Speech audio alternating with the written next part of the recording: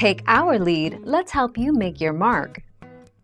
Our goal is your satisfaction. Let us show you the way. A null hypothesis is a type of hypothesis used in statistics that proposes that there is no difference between certain characteristics of a population, or data generating process. For example, a gambler may be interested in whether a game of chance is fair.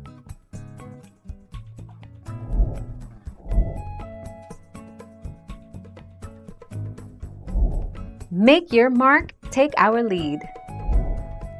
A crucial step in null hypothesis testing is finding the likelihood of the sample result if the null hypothesis were true.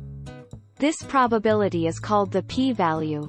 A low p-value means that the sample result would be unlikely if the null hypothesis were true and leads to the rejection of the null hypothesis. Thank you for watching. Please subscribe and hit the bell notification.